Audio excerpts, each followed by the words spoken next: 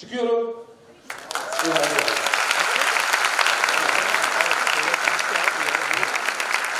Ben buraya kendinizi alkışlayın. Burayı bugün bu şekilde doldurmuş olmakla, buraya kadar gelmiş olmakla ben sizi kutluyorum. Helal olsun size. Helal olsun size. Nasıl gençler size ilk defa içerisi dışarısı dolu bir salon görüyorum. Ya bir kere daha helal olsun size. Yes. Şimdi inanıyorum ki bu salondaki insanlarla aynı sınıfa ait bir çocuğum ben. Yani e, ortalama e, e, çok zengin olan falan ailenin çocukları falan olduğunuzu düşünmüyorum. Dolayısıyla aynı sınıfa ait olduğunuzu düşünüyorum. Onun için size bir hikaye anlatacağım. Bu hikaye demek ki bizim ortak hikayemiz olacak. Yani siz hepiniz bu hikayenin içinde kendinize ait bir şeyler bulacaksınız diye düşünüyorum. Hepiniz mutlaka ufak tefek şeyler bulacaksınız. Bu ikide bir takılmasın abi lütfen olur mu? Ya takılacaksa hemen bunun çözümünü alalım. Çünkü biz başladık mı gitmemiz lazım. Çöz, durmaz değil mi bu? Durmaz. Evet. Şimdi e, kendi bir hikayemiz olsun ve bu hikayenin adına da şöyle diyelim. Hikayeniz yoksa hikaye olursunuz. Hikayeniz yoksa, eğer bir hikayeniz yoksa hikaye olursunuz arkadaşlar. Yani bir hikaye yazmanız gerekiyor. Bu hikaye neyle yazılır? Emekle yazılır. Yani kalemle yazılan bir hikayeden bahsetmiyoruz. Emekle yazılan hikaye sonradan kalemle bir yerlere yazılıyor. Onun içine emek koymadan o hikayeyi yaratamazsınız. Sonra o kalem, o kağıdı onlar o zaman zaten yazamıyor. Onun için ben size şimdi bir hikaye anlatacağım. Yüzde yüz doğru, yüzde yüz bana ait olan size ait olan aslında çünkü aynı insanlar olduğumuza göre, aynı ülkenin, aynı sınıfına ait olduğumuz insanlar olduğumuza göre bu hikaye hepimizin hikayesi gibidir. Bunu anlatırken içinde kendinize ait şeyler bence bulacaksınız. Şimdi ee, şu anda e, 60 yaşındayım. Ee, 1959 doğumluyum. Erzincan 1959 doğumluyum. Hikaye başlıyor. Annem tam 10 çocuk doğurmuş. Yes. Bir inek kaç, kaç, kaç tane doğuruyor biliyor musunuz? Bir inek kaç doğum yapıyor biliyor musunuz? Bir inek kaç doğum yapıyor bilen var mı içinizde? Hemen makine bak tıklıyorsunuz değil mi? Hadi tıklamadan ben size benim 7 ya da 8 tane doğuruyor. Benim annem 10 tane doğurmuş. Yes. Ay nasıl bir kadın bu ya? Evet. Şimdi ve bu kadın bunların içinden beşini kaybetmiş. Bunların içinde yanarak ölen çocuklar bile var. Şimdi diyorum ki ya bir kadın nasıl bu kadar güçlü olabilir değil mi? Ya da aslında sizin çıkaracağınız bir şey var burada. Kadın ne kadar güçlü. Kızlar gücünüzün farkında olursanız neler yapabileceğinize inanamazsınız. Siz çok güçlüsünüz. Çok güçlüsünüz. Kadınların, kızlarımız eğer gücünü fark ederlerse inanılmaz işler yapabilirler. İnanılmaz. Yani bir, bir inek 8 tane doğururken en fazla annem 10 tane doğurmuş ve bunun 5'i ölmüş. Bugün bir, bir, bir çocuğunuz öldüğü zaman ne hale gelirken benim annem bunların 5'ini kaybetmiş olmasına rağmen dimdik hayatta aslanlar gibi duruyordu. Ve bu çocukların ve diğer beşi ölmesin diye, kalsın diye yani işte ilaçtı, paraydı, ekmekli suydu, bir ton sorunlarla problemleri var Anadolu'da. Diyorlar ki bu çocuklar ölmesin, ve İstanbul'a götürelim. Hiç olmazsa bunlar yaşasınlar. İstanbul'a geliyorlar, bana güler bir tane su ver. Diyor ki e, bu çocuklar yaşasınlar diye geliyorlar bu çocuklar ama İstanbul bu yani. İstanbul. Öyle köydeki gibi komşundan bir tas çorba ya da su oydu buydu şu değil yani İstanbul'a geliyorsunuz. İstanbul'a geldiklerinde arkadaşlar bir gece konduya yerleşiyorlar. Bu gece konunun bir tane odası var ama aile o kişi. Anne, baba, abim evli. Onun ortasına bir tane perdeyi çekiyorlar. Abim evli olduğu için o da onun arkasında yatıyor. Şimdi babam bir süre sonra bu duruma bakıp de diyor ki burada bir sorun var ya biz Anadolu e, kerpiç duvarların içinde yatıyoruz doğru iyi güzel ama e, buradaki durum daha da vahim. Yani buna bir çözüm üretmek gerekiyor. Babam hiç ilkokul görmemiş, annem hiç ilkokul görmemiş. Ee, i- insanlar olarak değerlendirin her şeylerini. Ona göre değerlendirirseniz e, onlara daha e, ulaşma, onları anlama şeyiniz daha daha farklı olur. Babam diyor ki ben bunu bir çözüm üreteyim. Çıkıyor ve de gidiyor. Babam sizce nasıl bir iş bulmuştur? Nasıl bir iş bulmuştur sizce? Nasıl bir çözüm e, e, bulmuş bu konuya? Yani üst üste o odada yatan çocukları bir kere o durumdan kurtarmak istiyor. Benim düğümler var abi. O benim de o benim de. Şu benim de. Nasıl bir çözüm üretmiş olabilir sizce?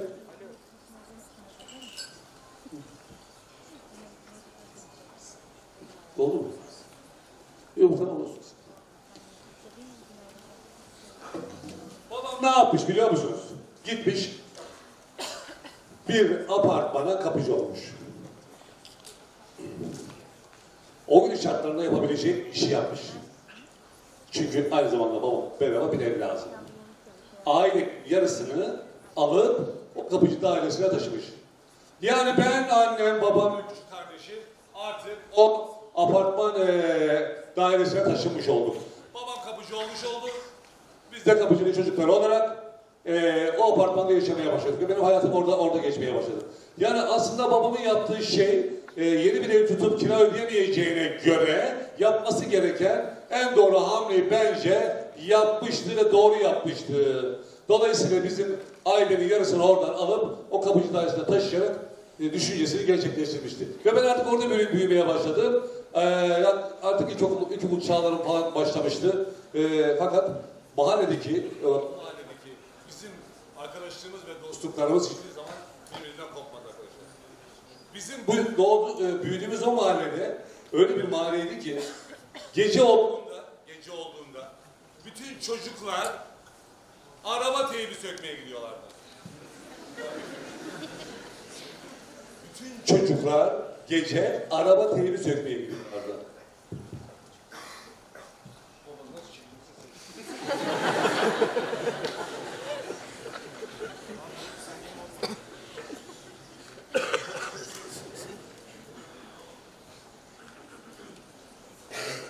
Hava kararında çocukların hepsi çıkıyorlar, zengin semtlere gidiyorlar, araba teyiplerini söküyorlar, gündüzde satıyorlardı. Mahallede ihtiyacı olan herkese dağıtıyorlardı. Bir Robin Hood'luk vardı yani çocuklarda. Ve bu çocuklar gerçekten arkadaşlıkları, dostlukları mükemmel ve çok güçlüydü. Evet bunu yapıyorlardı bu çocuklar. Ama emin olun eee mahalledeki insan, ihtiyacı olan insanlar için bunu yapıyorlardı. Dostlukları, arkadaşlıkları, kardeşlikleri mükemmeldi yani. Mükemmel çocuklardı bence onlar. Eee polisin mesela polisin ilk giremediği mahalledir o mahalle. İstanbul'da polisin ilk giremediği mahalledir. Şimdi burada söylemeye çalıştığım şey şartlar ve koşullar.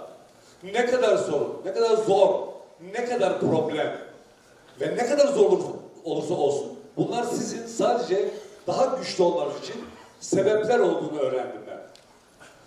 Hayır şartlar ne kadar zor olursa olsun, ne kadar sorunlu olursa olsun, ne kadar problem olursa olsun bunlar sadece sizin daha güçlü olmanız için nedendir diye düşünmeye başladım. Çünkü hep şey zordu, sorundu ve problemdi. Ve biz bunun içinden bunu terk edip te- terk edip gidecek bir yerimiz yoktu. Onun için bizim bununla ne yapmamız gerekiyordu? Mücadele etmemiz gerekiyordu. Bununla mücadele ederken de biz daha öğreniyorduk, daha da güçleniyorduk. Her şey bizi güçlendiriyordu. Bence işin bu kısmını hiç kaçırmamalısınız. Tüm sorunlar, tüm problemler, tüm zorluklar sizin daha güçlü olmanız için sebeptir. Bence olaya böyle bakmalısınız. Bu olayı hiç kaçırmamalısınız. Yani bir ton sorununuz, bir ton probleminiz, şartlarınız çok kötü olabilir. Ama emin olun bunlar sizin daha güçlü olmanız için sebeptir diye düşünün. Buna böyle inanırsanız bence mücadele etmeniz çok daha kolay olacak. Artık ilkokul görevim başladı, ilkokula gitmeye başladık. İlkokulda bizler fakirler listesinde olduğumuz için bize eee, işte ayda bir kere falan ismimizi okuyorlardı. Sahneye çıkıyorduk. Elimize birer tane poşet veriyorlardı. Bizi oradan indiriyorlardı. Hikaye hep böyle bu şekilde gelişip giderdi. Aslında burada sıkıntı da yoktu alışmıştık. Süt tozu veriyorlardı falan filan yani e, işimizde görülüyordu. Ama günlerin birinde, günlerin birinde eğer şeye yansıtabiliyorsak o çocukluk resmimizi burada görebiliyorsak onu gösterelim size arkadaşlar. E, yardım, yardım şeyini yine verdi öğretmenimiz. Aşağı indik. Aşağı indikten sonra e, öğretmen dedi ki Ceysen dur. E, seninle işim var dedi. Beni aldı.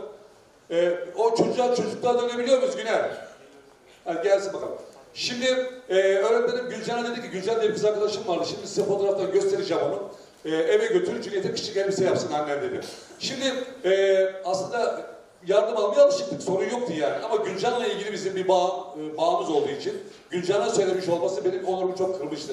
Dolayısıyla bu beni sıkıntıya soktu. Şimdi okul çıkışı, okul çıkışı Gülcan'ların eve gittik. Annesi e, ölçülerimi aldı. Emin olun Gülcan 20 metre önden, ben 20 metre arkadan yürüyordum. Sonuçta eve gittik. Ölçüler alındı ve de e, ben Gülcan'ların evine çıktığımda gerçekten onurum, gururum çok kırılmıştı. Çünkü konu Gülcan'dı. Çünkü Gülcan'la olan o ilkokul aşklarını falan biliyorsunuz değil mi? Herkes birbirine aşık olur. Sık sık da aşık oluyorlar biliyorsunuz. E, o ben o Gülcan'a acayip aşıktım arkadaşlar yani. Evet. Bendeki sorun buydu zaten. Gülcan'a olan e, bu duygumdan dolayı bu, çok, bu kadar çok onurum kırılmıştı. Yani yer yarasının içine düşüp bir daha çıkmayayım diye düşünüyorum. Ama tabii ki öyle olmuyor. Şimdi arkadaşlar gördüğünüz gibi o çocuk benim. Gördüğünüz gibi e, zaten çocuğun önlüğü önlüğü yok. Öyle bir çocuk o çocuk. O çok kazak mevsim yazdı. O kazak kışlıktır. O şekilde annem onu ip göre giyiyordum. Gidip geliyordum. Bakın görüyorsunuz. Önümde Mustafa var. Mustafa'nın gördüğünüz gibi yaz olduğu belli kısa kol. O artist, artistik yapmış. Niye gelmiş öyle kısa kolu bilmiyorum ama e, ama benim gerçekten durumum oydu arkadaşlar. Yani o dönemden bahsediyorum. Gülcan'ı merak ediyorsanız Gülcan da şuydu. Onu da gördük. Eee e, Gülcanların evden çıktığımda ağlaya zırlaya e, o üzüntüyle eve gittim ve babam bunu fark etti. Benim babam ilk okul, ilk, ilk, ilk görmemişti ama çok farklı bir adamdı. Gerçekten çok kaliteli, çok kişilikli, çok ahlaklı, çok kimlikli, çok çok çok, çok düzgün bir adamdı yani. Ee, ne oldu dedi. Dedim ki baba işte ben okula gitmek istemiyorum bundan sonra. Dedi ki niye dedi. Dedim ki ben kapıcı olmak istemiyorum baba. Babam eğer okumazsan kapıcı olursun oğlum dedi. Bak ben okumadım kapıcı oldum dedi. Eğer okumazsan kapıcı olursun dedi. Babamla bu muhabbetten sonra babamı terk ettim. Ee, çantayı attım bir tarafa. Sonra çocuklarla oyuna gittim. O zaman arkadaşlar sabahçı ve öğlenci statüsünde okunuyordu okullar. Sabahçı ve öğlenci yani sabahleyin okula gidiyorsunuz, öğleden sonra okuldan e, herhangi bir işe de gidebiliyorsunuz. O zamanınız oluyor. Ben o gün karar vermiştim. E, ilk kararı okuldan yardım almayacağım kararı idi.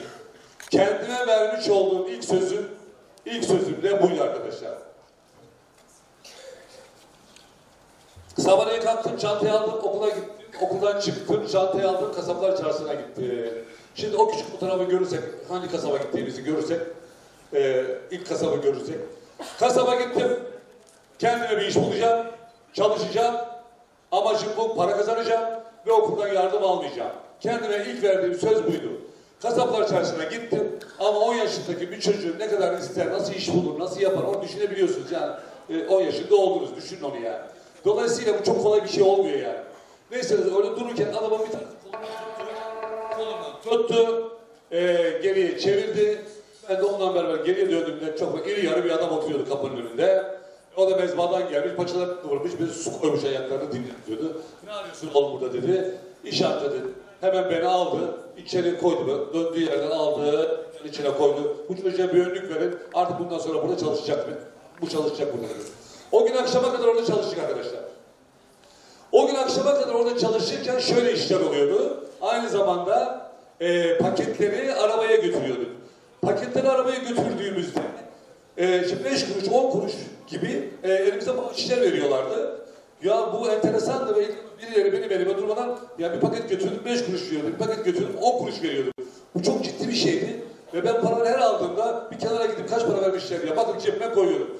O andan itibaren bir gün sonra okula cebimde ilk defa parayla gitme imkanım oldu.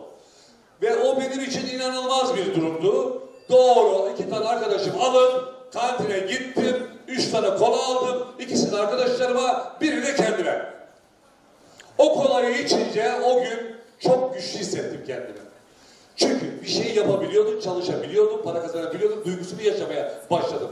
Bir de o günlerde ve o yıllarda bir şey ısmarlayabilmek gücü de insanı büyütüyor. Yani sadece kendine değil. Bir arkadaşına bir şey ısmarlama gücü de ben çok önemli bir duyguydu. Bakın ilk girmiş olduğum kasap burasıydı. Bu Osman Usta, burada ben 17 yaşındayım. 17 yaşındayım. Şimdi bununla ilgili bir hikaye anlatacağım. Çünkü buraya 17 yaşına girdik artık 17 yaşında. Artık büyümüş, usta olmuştum arkadaşlar ve 17 yaşında. O gördüğünüz çocuk vardı. O çocuk şimdi bu hale geldi. Oldu 17 yaşında. 17 yaşına geldi, bayağı bir evini değiştirdi. Bu hale geldi gördünüz. Şimdi 17 yaşına geldiğinde e, orada tabelayı görüyorsunuz. Orada günaydın yazıyor. Günaydın yazıyor şu anda. Bu dükkana girdiğim zaman arkadaşlar bu dükkanın adı Bahar'dı. Bahar kasabıydı. Günaydın değildi yani. 17 yaşına geldiğimde bir şey fark ettim. Dükkanlar bütün esnafların, e, etraftaki çevredeki bütün kasapların mesela hepsinin adı ya bahar kasap, ya şen kasap, ya aile kasabı ya da benzeri tipi insanlar var. Ama genelde dükkanların adı bahar kasabıydı. Bu benim kafama takılmıştı ve patronuma dedim ki biz bunu değiştirelim. Herkesin adı gibi olmasın, bizimki farklı olsun. Ee, peki, işte biz öyle böyle, böyle bir muhabbet ettik. Sonra bir gün sonra gitti, bir gün sonra falan geldi. Dedi ki ne olsun dedi. O zaman da e, kendisi e, öyle çok söylediklerinize hemen inanan, yapacak öyle model falan, o bitik bir adam değil yani. Öyle farklı bir adam bu adam. Neyse gitti, döndü, ne olsun dedi. Dedim ki günaydın olsun. Dedi ki niye günaydın dedi. O zaman da dükkanın önünde günaydın gazetesi satıyor arkadaşlar. Günaydın satan gazeteci çocuklar da günaydın bir bağırıyorlar. Günaydın, günaydın, günaydın, günaydın, günaydın yazıyor, günaydın yazıyor, günaydın, bir günaydın gülüyor. Yani bir günaydın hengamesi var. Ve bu günaydın hengamesi bende büyüklük ve güç algısı yaratıyordu. Yani çok büyük, çok güçlülük algısı yaratıyordu. Dolayısıyla adı orada adı günaydın oldu. 17 yaşındaydım. O dükkanda işçi olarak çalışıyorum. Sonradan benim olacak dükkanın adını o günden değiştirmiştim arkadaşlar. O günden değiştirmiştim. Çünkü bu işe e, artık 17 yaşına geldiğinde çok farklı bakmaya başlamıştım. Yani insanlar için eti kesmek e, etti sadece onlar için. Oysa ben bu yapmış olduğum işi çok farklı algılamaya başlamıştım. Çok farklı boyutlarda, farklı mantıkla kesmeye başlamıştım.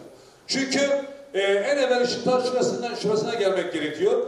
E, o canlıların bizim için çok değerli olduğunu idrak etmeye başlamıştım. Yani e, o kadar bizim için cömerttiler ki etiyle, sütüyle, derisiyle, ciğeriyle, böbreğiyle, dalağıyla her şeyini bize veriyorlardı.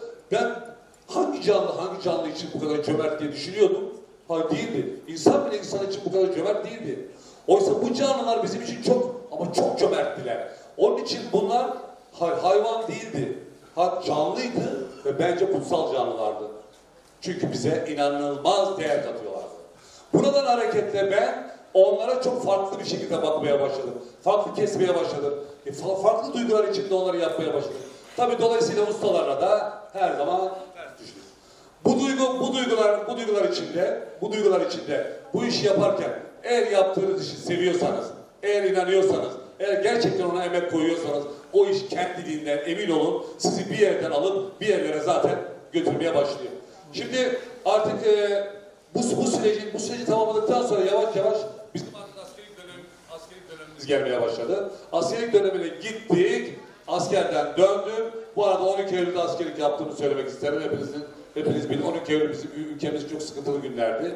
O sıkıntılı günlerde de askerlik yapmış olmak bizi daha da eğitti, daha da geliştirdi, daha da çok şey öğrenmiş oldum. O da benim için çok önemli bir sebepti. Şimdi e, askerden döndükten sonra arkadaşlar e, o günlerde benim patronum dükkanı satmak istiyordu. Dedi ki ben dükkanı satacağım. Gideceğim artık yoruldum.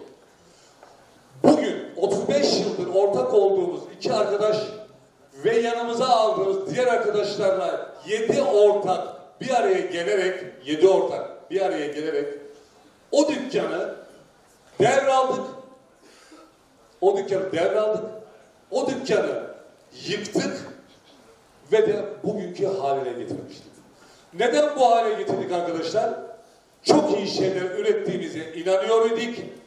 Çok iyi işler yaptığımızı emindik. Ama kendimizi yeterince fark ettiremediğimizi düşündük. Onun için öyle bir şey yapalım ki insanlar bizi fark etsinler istedik. Bunun için o dükkanı yıktık. Dünyadaki ilk, bakın dünyadaki ilk Amerikan barlı kütüphaneli kasabı yaptık. O günkü kıyafetler, bunlar 35 yıl önceki kıyafetler, 35 yıl önceki dükkan. Yani yaptığınız işin o ya da bu olması hiç önemli değil bence. İşin kötüsü ya da iyisi de olmaz. İşi iyi ya da kötü yapan insandır. İyi yapıyorsanız o iş iyidir, kötü yapıyorsanız kötüdür. Arkadaşlar o dükkanı yıktık. Amerikan barlı kütüphaneli dükkan yaptık. Bütün gazetelerle basın bize o gün fark etmişti. Gördüğünüz gibi mesleğe çağırdılar adamlar falan filan diye de yazmışlardı. Ve dolayısıyla bu olunca insanlar hepsi fark etmeye başladılar. Ama bizim işlerimiz o zaman işte ilk kırılma noktamızı yaşamıştık. Ee, ilk hedefimize bence ulaşmıştık. Sonra dükkanlar, bu dükkanlar sonra bize çok daha fazla alışverişe gelmeye başladı. Biz artık burada bu noktadan sonra başka bir şey yapmamız gerektiğini düşünerek işte o noktadan sonra biz artık restorancılığa geçmeye başladık. Çünkü e, artık o kasaplık bize yetmiyordu. Bir farklı iş yapmamız lazımdı. O da Özal dönemiydi. Tam o dönemlere denk geliyordu. E, doğudan ve güneydoğudan insanlar İstanbul'a kebapçı dükkanları açmaya geliyorlardı. Onlar bizden aynı zamanda et almaya geliyorlardı. Onlar e, yapmış oldukları işlerde yapmış oldukları işlerde biraz İstanbul'a atlıyorlardı. Çünkü İstanbul insanı, İstanbul'da yaşayanlar daha farklıydı o zaman. Ee, yani Antep'te yaptığı, birebir İstanbul'da yaptığı zaman çok daha farklı bir e, algı yaratıyor. Çünkü ağır oluyordu yani. Onlarla konuştuğumuzda böyle değil de böyle yapılması gerektiğini anlattığımızda onlar buna katılmadılar. Yani o, bu sefer beni zor dedim ki orta bir dükkan açalım. O zaman öyle yapalım. Onu da kabul etmediler. Ve ben e, bu, bu sürtüşme içerisindeyken bir tane kebapçı dükkanı açtım. Bu kebapçı dükkanını açtığımda duygularımı ve düşüncelerimi oraya yansıttım. Ee, o kadar tuttu ki e, inanamazsınız. 6 ay sonra o dükkandan çıkıp 120 kişilik dükkandan çıkıp 500 kişilik bir dükkan açmıştık. 500 kişi içeride yemek yiyordu. 200 kişi de dışarıda bekliyordu. Öyle bir hale gelmişti dükkan. Yani 500 kişi yemek yiyordu, 200 kişi de dışarıda bekliyordu. Çünkü gerçekten yapmış olduğum şey yani inanırsanız, bir şeye inanır ve severseniz ve de bunun arkasından giderseniz gerçekten bırakmazsanız e, sonuçta ürünü alabiliyorsunuz. Bu da o, benim için en önemli e, örneklerden biridir. Bu ilk sınavımızdı çünkü. İlk sınavımızı bu şekilde çok başarılı geçtik. Şimdi e, tabii her şey bu kadar kolay, o kolay olmuyor. Biz bunları yapabilmek için e, kaç saat uyuyorduk? Yani 3 saat, 2 saat, 3 saat, 4 saat falan uyuyorduk. Çünkü sabahleyin 6'da kalkıp dükkana gidip arkasından bir dükkanı akşamleyin kapatıp oradan da mezbahaya gidip oradan da mezbahaya gidip mezbahada 4'te 5'te eve gelip 2 saat 3 saat yatıp bu işleri yapmaya devam ediyorduk yani. E tabii ki bu, bu emek sürecinden geçmeden de bence hiçbir şey hiçbir şey arkadaşlar. Bu dükkandan sonra yeni bir dükkan, yeni bir dükkan, yeni bir dükkan, yeni bir dükkan, yeni bir dükkan daha olmaya başladı. Ee, bu arada tabii ki kendimizle ilgili söyleyeceğimiz en önemli işlerden biri. Ee, yavaş yavaş ona şuna inanmıştım. Size megalomanlık gibi gelebilir. Ama bu işin gönderilmeye inanmaya başlamıştım ben. Çünkü algım farklıydı. Dolayısıyla bu işin gö gönderildiğinize inanıyorsanız da farklı bir şeyler yapmanız gerekir. Ee, sadece iş yapmak değil, bunun yerine aynı zamanda insan yetiştirmeniz de gerekirdi. Dolayısıyla tüm çocukları, yanımıza aldığımız bütün çocukları bu yönde yetiştirmeye başladık. Bugün İstanbul'da e, ya da Türkiye'de ya da e, Uzak Doğu'da ya da e, ya da daha daha Avrupa'da görmüş olduğunuz birçok çocuk var.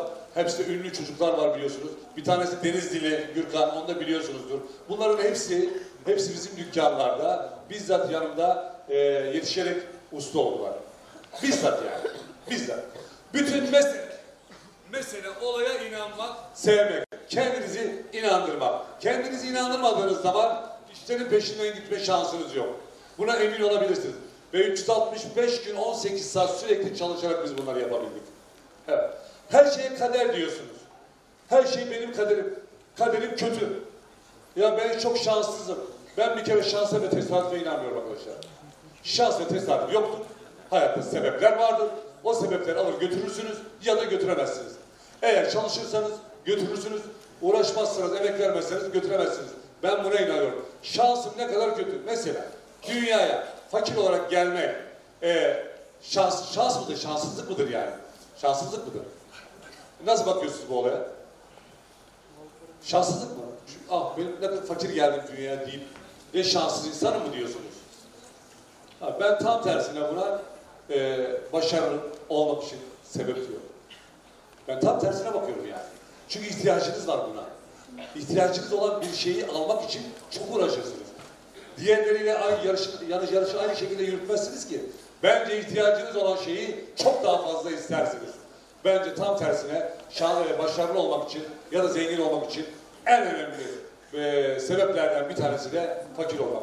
Bir de her şey kader, kader, kader deyip onun arkasına sığınmayın lütfen. Öyle her şey kader filan değil abi. Eğer her şey kader derseniz siz bir, bir süre sonra insanlar sizi çok farklı bir şekilde götürmeye başlıyor. Onunla ilgili bir e, şeyimiz var onu görelim mi? Şey, görelim. Böyle her şey, bu benim kaderim kötü.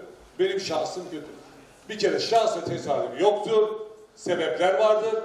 Onları alıp götürürsünüz ya da götüremezsiniz. Şimdi herkes e, benim kaderim bu, benim kaderim kötü, benim kaderim bu deyip o kaderin arkasında bir, bir kadercilik başladı yani. Kadercilik var. Biz kaderi yok demiyoruz ki. Kader var ama her şeye kader derseniz işin içinden çıkamazsınız. Allah hiç kimseye kötü bir şey falan vermez arkadaşlar. İyiliğinizden başka da bir şey istemez. Siz ne yapıyorsanız siz yapıyorsunuz. Siz ne kadar istiyorsanız o kadar alıyorsunuz. Buyurun. Bunları ben yazmadım. Ee, ay- ayetlerden aldım. Ee, bunları görüyorsunuz. Görüyor musunuz? Ne diyor? Kaderi yanlış anladık diyorum ben. Mi? Kaderi yanlış anladık. Her şey olacağına var. Arkadaşlar her şey olacağına varır mı ya? Nasıl her şey olacağına varır? Hiç çalışma, uğraşma, didinme, hiçbir şey yapma, her şey olacağına varsın? Nasıl yani? Otur yerinde, bekle, de ki her şey olacağına varır. Nasıl her şey olacağına varsın arkadaşlar lütfen yani. Çalışacağız, uğraşacağız, mücadele edeceğiz, emek vereceğiz. Emeğimiz bize hak olarak geri gelecek. Allah adaletsizlik yapmaz, orada sorun yok. Emek bize hak olarak geri gelir. Ama her şey kader dersek, efendim beklersek, ya her şeyi Allah'tan beklersek olur mu öyle bir şey? Yok öyle bir şey. Öyle bir şey yok yani. Yani gördüğünüz gibi nasipse olur, kısmetse olur. Nasıl yani arkadaşlar? Tamam abi. Oturalım, nasipse olur, kısmetse olur deyip bekleyelim. Hiç öyle bir şey yok abi. Artık bu algıların değişmesi gerekiyor diye düşünüyorum. Sonra bütün bunlara bu şekilde bakarsak e, en, en, en sondaki şeye bakın biz her insanın kaderini kendi çabasına bağlı kıldık diyor yani. Bu, bu kadar önemli, açık ve net.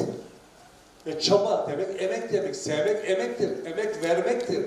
Ya emek bu, emek. Yeryüzünün en güzel şeyinden bahsediyoruz. Yani bir anneden bahsediyoruz. En iyi örneği annedir. Şartlar ve koşullar ne olursa olsun sizi sevmez mi anneniz? Yine sevmez mi? Yine sevmez mi? Yani kör olsaydın, topal olsaydın, çakal olsaydın fark eder miydi? Yine sevmiyor mu anne? Seni seviyorum anlamı dünyada annedir, emektir, vermektir sevmek. Seni seviyorum da budur. Sevmek vermektir, sevmek emektir. En iyi örneği de annedir arkadaşlar. Evet.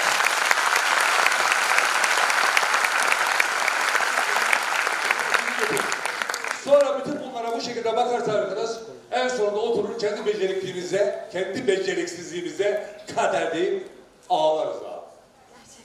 Olay budur. Her şey kader, kader, kader, kader derseniz o benim kaderim kötü dersin olsa oturup al. Her şey kader olur mu ya? Allah işi gücü yok da efendim size kötü şey mi gönderecek? Zor şey mi gönderir? Allah hiçbir kötülük yapmaz. Hiçbir şeyde kötülük istemez. Bize verirse güzel şey verir. Neye akıl verdi bize? Düşünesiniz diye akıl verdim diyor size. Düşünesiniz diye akıl verdim diyor. Düşünün, gereğini yapın. Yeryüzünden küçük şeyi emektir. Emek verdiğinizde emeğiniz size hak olarak geri gelecektir. Bundan emin olabilirsiniz. Evet, öküzümüze geçelim. Şimdi inanmanın ne kadar inanmanın ne kadar önemli olduğunu şimdi göreceğiz. İnanmak ne kadar önemli onu göreceğiz. Hep inanın, sevin ve çalışın diyorum değil mi? İnanın, sevin ve çalışın diyorum. Eğer inancınızı elinizden alırlarsa ne olur? Oradan siz okuyabiliyor musunuz? Bu öküz bir manda ya da camış denir Anadolu'da. Dünyanın en güçlü hayvanlarından biridir. En güçlü hayvanlarından biridir. Suda yatmayı çok sever biliyorsunuz. Bu çocuğu görüyorsunuz. İp elinde. Bu camış sadece burnuna bir sinek konsa o anda. Sineğe konmak için kafasını şöyle bir çevirse o çocuğu kaldırır atar. O kadar yani. Oysa yazıyı görelim. Kocaman bir manda çocuğun elindeki ince bir ipe bağlı. İstese tarlalara doğru kaçabilir. Bu fotoğrafı çeken kişi şöyle yazmış. Özgür olamayacağına inanmıştır. Kopmayan şey ip değil, inancıdır. Psikolojide öğretilmiş çaresizlik diye bir gerçek var. Bu da gösteriyor ki önce inancınızı elinizden alıyorlar, sonra sizi durumunuzu değiştirmeye gücünüz olmadığına ikna ediyorlar arkadaşlar. Ve siz bu inancı kaybettiğinizde o zaman o öküzün durumuna düşmüş olursunuz. Eğer biz bu inancımızı kaybettiğimizde o zaman öküzün durumuna düşmüş oluruz. Ben kendi adıma söylüyorum, size söylemiyorum. Ben öyle düşünmediğim için öyle tam tersini yaptım. Çünkü inandım. Ee, yaptığım işi çok sevdim ve de çok çalıştım. Gece gündüz çalıştım. Hayatım boyu cumartesi, pazar ve bayram görmedim. Görmedim. Karımı bile dükkana tanıdım. Dükkana et almaya gelirken gördüm yani. O gün iyi mi oldum, kötü mü oldum başka ama bir baktım bir kız geldi, hiç aklımda yoktu. Aa ne kadar güzel, hemen aldım. Ee, yani gerçek, gerçekten. yani. Acayip güzeldi ama fena yani. Brokşinsten güzeldi kız, fena, acayip güzeldi. Ee, dolayısıyla hiç aklımda yokken, bu evlilik işte böyle böyle bir şey. Hiç aklımda yokken karşıma bir kız çıktı ve inanılmaz da güzeldi. Ya bu ne ya dedim. Hemen dedim ki ya kafayı bozdum. Hemen de o kızı almaya karar verdim. Zorla. Onlar vermediler, bizimkiler almadılar. Uğraştım durdum. O kadar uğraştım ki. Onunla da dünya kadar uğraştım. Ona da dünya kadar emek verdim. Annem istemiyor, babam istemiyor, onun anası babası istemiyor. Ya ne yapacaksın? Kendim gittim istedim. Kendim tek başıma gittim istedim. Kaynanam dedi ki, annem dedi ki, çok kaynanamı çok severim. Dedi ki, oğlum senin annen baban yok mu dedi. Dedim ki, anne de baba da bana da benim ne isterseniz vereceğim bu kızı bana verin. Param da yoktu. O aldığım zaman kızı. Ama inancımı gördü. Evet, sonra düşünce taşındı. Ulan dedi bu kız çok zor kız dedi. Ancak bunun aklından sen gelirsin ben sana bunu vereceğim bana ver. Ya onu bile zor aldık arkadaşlar. Kolay değil.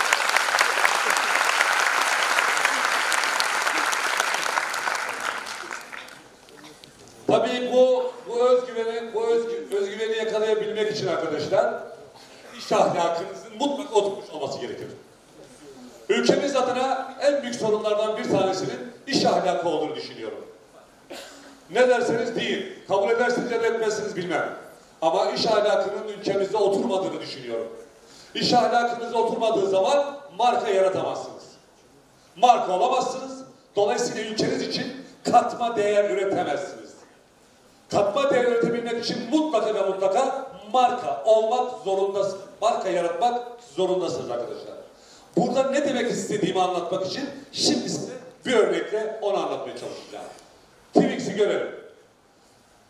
Burası Dubai. Dubai'de bizim dükkanlar var arkadaşlar. Ee, orada bir konuşma için ben de e, markayı anlatmamı istemişlerdi. Ben de her zaman anlattığım konular üzerinden bir şeyler değil de e, farklı bir yönden bir şeyi anlatayım ve şu markanın ne demek olduğunu, ne anlama geldiğini de anlatabileyim. İkna edeyim şu insanları dedim. Bana da yetmiyordu tabii. Yani bu marka ne demek arkadaşlar? Ne demek marka? Şimdi dibine kadar markanın ne demek olduğunu ben size anlatıyorum. Çünkü insanların en iyi algılama şekli eliyle tutup gözüyle gördükleri şekildir. Şimdi Dubai Mall'da geziyordum. Bu konuşma için bir konuşma hazırlayacağım. Ama öyle bir şey yapmalıyım ki bunlar çok etkilensinler. Marka ne demek olduğunu ben bunu anlatabileyim bu sefer dedim. Böyle gezerken yanımda da Muhammed diye bir arkadaş var. Dedim ki Muhammed benim yabancı dilim yok. Bu arada ben ilkokul mezunuyum arkadaşlar. Ee, onu söyleyeyim. Ee, orada oraya hikaye bir geriye döneceğim ve de ilkokulda bitirdiğimi söyleyeceğim. Neden orada kaldım yani. Dedim ki Muhammed gel sen bana yardımcı ol. Şu dükkanın ruh halinin çok geniş bir dükkan burası. Ee, çok güzel, çok şıktır. Bunu biliyorsunuz. Ee, bütün dünyaya satıyorlar bu çayları. İçeri girdim. Ben bunu İngiliz markası zannediyordum. Adama sordum. Siz İngiliz markası mısınız? Dedi ki hayır. Biz Singapur markasıyız dedi. Öyle bir kere çocuğun özgüveni beni çok etkilemişti. Yani ülkesini savunma, ülkesini koruma ya geçti, otomatik olarak geçti çocuk. Hayır dedi. Ne İngiliz'i diyor yani. Ben Singapurluyum, ben marka Singapurlu. Ben şaşırmıştım, gerçekten İngiliz markası olarak biliyordum. Siz ne yapıyorsunuz burada dedim. Dedi ki biz çay satıyoruz dedi. Ne çayı satıyorsunuz dedi. Bütün dünyanın en iyi çaylarını toplar, bu kutuya koyarız ve de satarız dedi. E siz niye öğretmiyorsunuz? Biz de öğretiyoruz dedi. E niye dünyadan alıyorsunuz? Hepsini kendiniz üretin dedi. Yok öyle değil dedi. Bizdeki pazarlama yöntemi sistemi şu şekilde dedi. Biz bütün dünyadaki en iyi çayları alırız, bu kutulara koyarız ve de satarız. Peki dedim nerelerden alıyorsunuz? Saydı saydı saydı. Ben şuraya gelmek istiyorum. Türkiye'den de alıyor musunuz demeyi. Türkiye'den alıyor musunuz dedim. Evet alıyoruz dedi. Hani bana gösterir misin dedim. Bana bu kutuyu indirdi. Bu kutuyu, bu şeyi yaklaştırabiliyor muyuz? Yani herkesin görebilmesi için. Arkadaşlar bunun altında Rize yazıyor ha. Bakın. Rize, Rize. Rize yazıyor. Bakın. Rize'de çay. Kaç para? Rizeli var mı içinizde? Yes. Kaç para çay Rize? Rize'de kardeşim? 8 TL şu an. Kaç? 8. 38 TL. Da şu anda 38 TL. Evet. Bu iki yıl önceki hikayeydi. Ona göre düşünün. Ona göre değerlendirin. Bu iki yıl önceki bir olaydı. O gün bu adam o benim memleketim güzel Rize'mi, yeşil Rize'min çayını bunun içine koyup kaç paraya satıyorduk kilosunu dersiniz arkadaşlar? Bir fikir yürütmenizi rica ediyorum.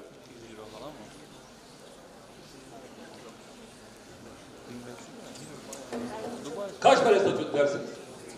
Kaç para? O adam o çayı Rize'mizin, Rize'mizin, güzel Rize'mizin, yeşil Rize'mizin çayını, güzel ülkemin Rize'sinin çayını alıp bunun içine koymuş, Twix'in içine kaç paraya satıyordu biliyor musunuz? Ya kaç paraydı şey iki yıl önce Rize'li söyledi. Şimdi 38'li bir Rize'li arkadaş. Şimdi 38 lira diyor o zaman 20 liraydı. 20 liraydı yani. Kilosunu 645 TL'ye satıyorlar abi. 645 TL. 2 yıl sonra 20 gün önce gittiğimde kaç paraya satıyordu? Pardon 645 TL, 645 dirheme satıyordu. 645 dirhem. Şu anda dirhem e, yani bizim paramızda bu oynamalardan dolayı e, durumu daha iyi durumda. Daha iyi durumda. E, dolayısıyla daha da pahalıya satıyor. 645 dirhemdi ya. Bu ne yani? İşte arkadaşlar marka demek ne demek biliyor musunuz? Marka demek bu demek arkadaşlar. Net. Marka demek bu demek. Marka demek işte bu demek. Katma değer üretmek demek. Bence bir markayı an, saatlerce anlatsak bundan daha iyi anlatamazsın. Sizler marka olabilirsiniz. Marka yaratabilirsiniz. Bunun için çok çalışmanız gerekiyor. Yani bir kapıcı dairesinden çıkan bir çocuk bir, bir marka yaratabiliyorsa siz yarat okumuş, okumuş aslanlar gibi çocuklarsınız. Ama gerçekten çok inanmanız gerekiyor. Gerçekten çok çalışmanız gerekiyor. Şansım yok, kaderim kötü. Böyle bir şey yok. Siz çalışın. O sizi görür. Her şeyi bilir, her şeyi görür, her şeyi duyar. Hiç sıkıntı yok yukarıda. Hiç. Siz yeter ki emek verin. Tekrarlıyorum, emekleri satılık gelin ama gerçekten çok yorulmanız gerekiyor. Çok yorul. Ne kadar yorulursanız o kadar çok veriyor yarısını anlayacağım. Evet, işte marka olmak, marka demek bu demekti arkadaşlar. Marka demek bu demekti. Şimdi o ilkokula, ilkokula takıldınız, onu söyleyeyim. Babama e, artık ilkokulu o şekilde ben, ben o şekilde ilkokulu bitirdim arkadaşlar. Artık ilkokulu bitirdiğimde babama, babama döndüm ve dedim ki baba ben artık okula gitmek istemiyorum. Ve beni okula gönderme. Ben çalışmam lazım. Tam gün çalışmam lazım. Çünkü bu dükkanda bu işi götürmem lazım. Babam beni zorla ortaokula yazdırdı. Bir yıl. Bir yıl ortaokula gittim. Sınıfta kaldım. Aldım karneyi babama götürdüm. Ee, dedi ki baba işte sen beni okula gönderiyorsun ama ben de sana hayır gelmiyorum. Ben çünkü buraya konsantre olmuşum. Bütün okulda e, çalışmam gerekiyor. Ben okula zaman ayıramıyorum. Okul, okula konsantre olamıyorum. Yine gidersem yine sıkıntı yaşarım. Babam da dedi ki ne halin varsa gör. Beni aldı tam gün artık kasaba başlamıştım. Artık tam gün kasaba çalışmaya o şekilde başladım. Yani ilkokulu bitirene kadar arkadaşlar sabahleyin çantayı alıp kasaba gittim. Öğlenleyin kasaptan çıkıp e, pardon okuldan çıkıp kasaba gittim. O, o dönemi de bu şekilde geçirdim yani. Çünkü o işi acayip sevdim. Çok sevdim yani. Çok sevdim. Benim için çok başka bir şeydi o iş. Ya et değildi, pırlantaydı, bambaşka bir şeydi. Ee, dolayısıyla yani sevdiğiniz işi yapmanız işinizi kolaylaştırır. benim hepinize tavsiyem, e, özellikle tavsiyem, sevdiğiniz işi yapmanız. Sevdiğiniz işi yaparsanız hem mutlu oluyorsunuz hem de başarılı oluyorsunuz. Hem mutlu oluyorsunuz hem başarılı oluyorsunuz. Şimdi e, konseptlerimizi sonra farklı konseptlere e, çevirmeye başladık. Çünkü yaptıklarımız artık yetmiyor, daha farklı bir şey yapacaktık. Bu arada AVM'ler dönemi başlamıştı İstanbul'da. İstinye Park açılmıştı. İstinye, Park e, AVM'ler içinde çok farklı bir yere sahiptir. Bizim hayatımızda da çok önemli bir yere sahiptir. Orada açılan e, AVM'de biz yeni iki konsepti denememiz gerekiyordu. E, çünkü ilk defa bir AVM'ye girecektik. Bunun için risk almak gerekiyordu. Bunun için cesaret lazımdı. Ya bu çünkü ilk defa bir AVM'nin içinde dükkan açacaktık. Daha önce hiç denemediğimiz bir şeydi bu bizim. Bir tanesi köfte döner. Yani her sınıftan insanların yemek yemeye gelebilmeleri için. Biri de artık belli bir noktaya gelmiş olan kasap steakhouse. Yani şu görmüş olduğunuz dükkan, birisi bu bir de yukarıda. Ee, bu, bu konsepti denememiz lazımdı. Bu konsepti denediğimizde aslında Türkiye'nin kaderi de etle ilgili kaderi de değişmeye başlıyordu arkadaşlar. Etle ilgili kaderi de değişmeye başlıyordu. Çünkü bu dükkanla beraber bambaşka bir şey yaratmış oluyorduk. Etin eee şey atladığı, level atladığı, farklı bir boyuta geldiği bir durum, durumdu bu. Bu herkesin ilgisini, o kadar ilgisini çekti ki e, bütün çocuklar bu işe, bu, yani diğer kasaplığın yanında bu işin e, beraberinde olmasından dolayı bunların çocukların ilgisini, yani gençlerin ilgisini çekmeye başladı. Dolayısıyla bu çocuklar bu işi daha arzulu, daha istekli ve daha severek yapmak istediler. Bunlardan birçoğunu tanıyorsunuz. En çok tanıdığınız Rüttet var biliyorsunuz. Gürkan var, Özgür var. Bu çocukların hepsi bir bir eee, bizim bu dükkanlardaki bu konsepte yaratıcılığından istifade ederek, çekim gücünden, çekim gücünden istifade ederek bu işi yapmak istediler. Hepsi Mesela Nusret 14 yıl, abisi 22 yıl, diğer kardeşi 9 yıl, diğer kardeşi 10 yıl eee çalışmıştır. E, Denizli arkadaş Gürkan Topçu var. Sonra Topçu'yu da hatırladığım kadarıyla o 5 sene çalışmıştır. Bunların hepsi sonuçta fabrika gibi e, bu dükkanların içinden çıkıp kendi iş yerlerini açabilme yeteneğine sahip oldular.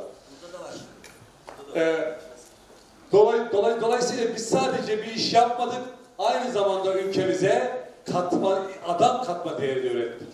Yani insan yetiştirdik. Bugün dünyanın her yerinde bu çocuklar çalışıyorlar. Bizim dükkanlarda arkadaşlar şu anda kaç kişi çalışıyor biliyor musunuz? 2500 kişi. Evet. 2500 kişi çalışıyor. Yani şöyle bakarsanız olaya, eee yani kapıcı dairesini çıkar çıkıp 2500 kişiye istihdam sağlamak gibi eee, bir duruma gelmiş olmak bence çok gurur verici.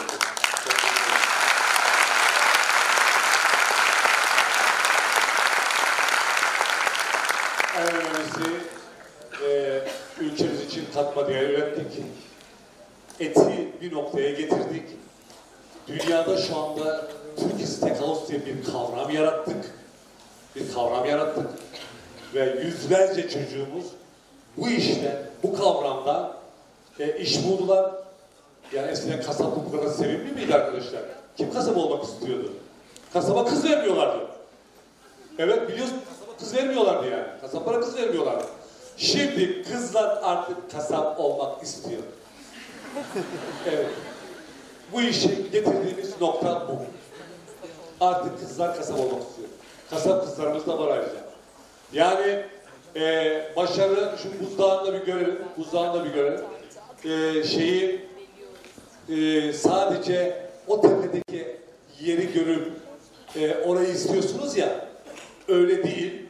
Öyle değil, öyle olmuyor. Bütün bu anlattıklarımızı hayata geçirdikten sonra oraya ulaşabiliyorsunuz. Bunu hepiniz çok iyi biliyorsunuz. Ben sadece bunu size bir kere daha hatırlatmak. Ama bilin ki oraya çıkmanın başka da yolu yok arkadaşlar.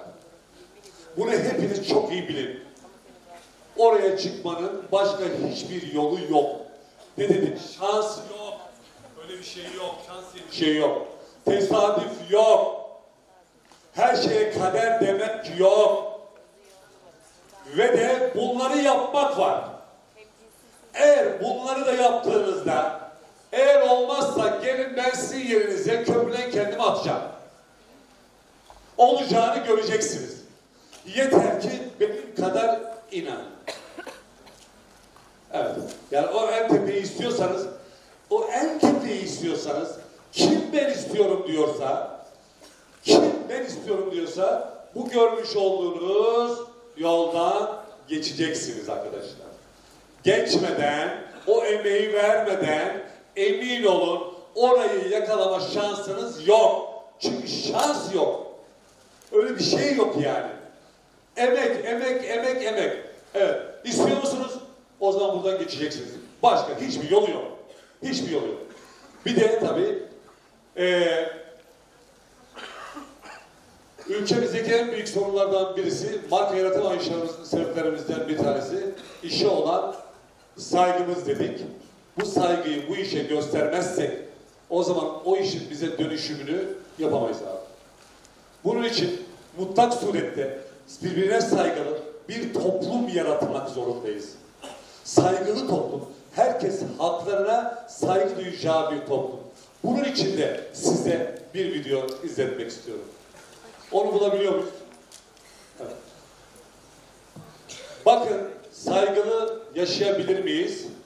Nasıl yaşayabiliriz?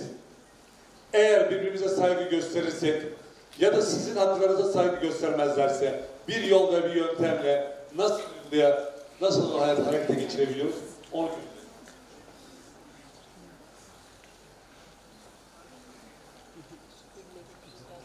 Şimdi bu video bence bunun en iyi örneklerinden biri. En iyi örneklerinden biri. Bence bu, bu videoyu sonuna kadar izleyin. Evet. Hem biraz tebessüm etmiş olursunuz hem de evet.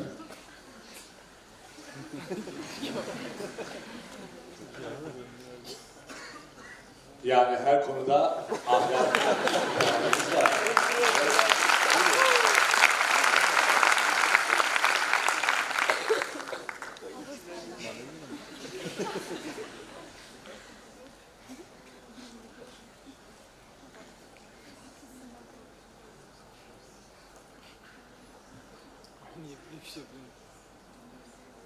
Kavga etmemiz gerekmiyor arkadaşlar. Onu anlatmaya çalışıyorum burada.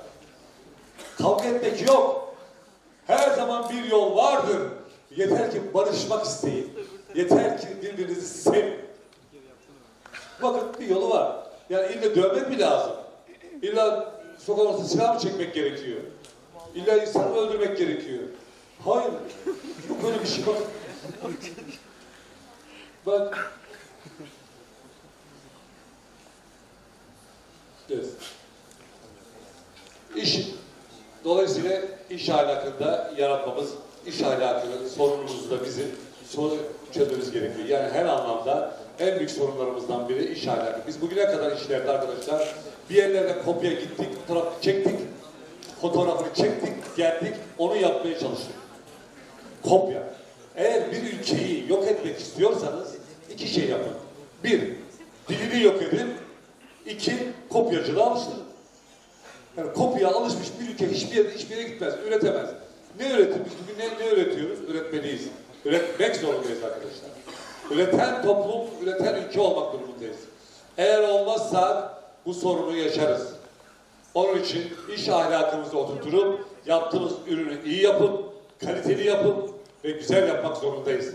Ki insanları kandırarak hiçbir yere varamıyoruz ve de gidemiyoruz arkadaşlar. Şimdi bizim aslanımızı da bir görelim. Aslanımızı da bir görelim. Şimdi ne kadar aslan olursanız olun, ne kadar aslan olursanız olun, ne kadar aslan olursanız olun. Bunu da sonuna kadar lütfen izliyorsunuz. Sonuna kadar izliyorsunuz. Son yazısı vardı? Biraz e, sıkıntılı bir video bu ama bazı şeylerin sıkıntılı olması gerekiyor ki bizde kalabilsin. Kalıcı olabilmesi için bazen e, böyle durumlarda biraz sabırlı sabırlı izlememiz gerekiyor. Ve sonuna kadar izleyeceğiz. Evet. En son yazımız var değil mi? Yazı nasıl yok? Tamam yazıyı da oraya koymamız lazım. Sonuç, sonuç yazı yani. Ne, ne yazmıştım ben ona?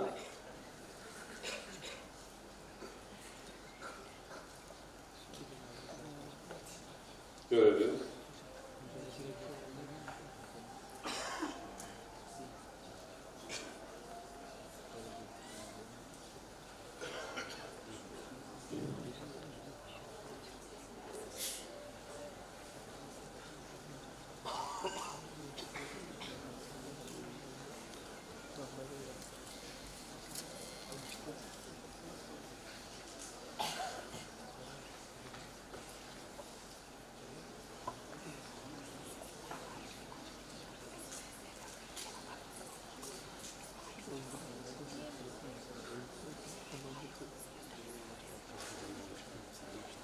Evet. Şimdi buraya dikkat ediyoruz.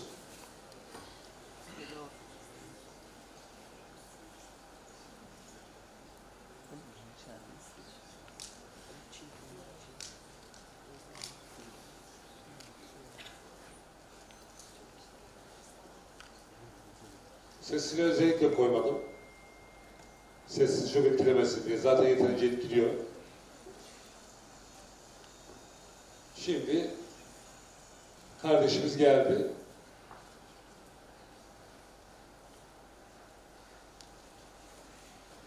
Evet kardeşimiz geldi. Durum durum bu hale geldi. Şimdi burada anlatmaya çalıştığım şu. Burada diyorum ki aslan da olsan yalnız kalmayacaksın. Onun için ülke olarak daima birlik, beraberlik ve dayanışma içerisinde olmalıyız. Kim olsun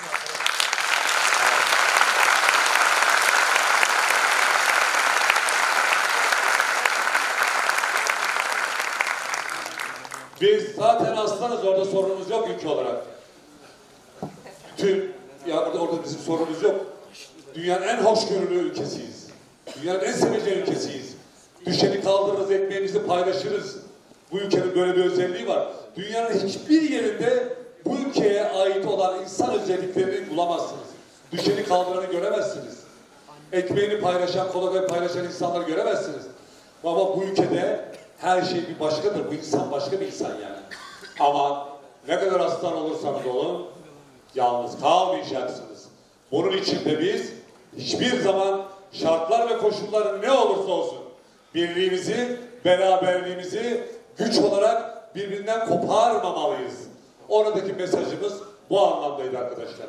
Eğer biz birlik ve beraberliğimizi bozmadan bu gücü bir arada tuttuğumuz takdirde emin olun bu ülke defalarca küllerinden doğmuş bir ülkedir. Yine yeniden her zaman doğar.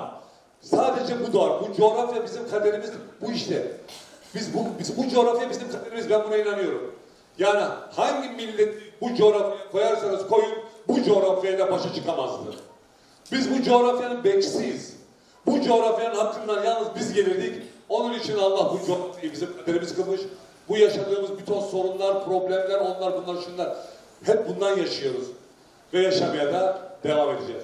Ama biz aslan gibi ayrılmadan yan yana durduk mu hiçbir çakal sürüsü, sırtlan sürüleri bizim ülkemize hiçbir şey yapamazlar. Onun için birlik ve beraberliğimizi, kardeşliğinizi, dostunuzu, arkadaşlarınızı hep korumalısınız. Bak ben-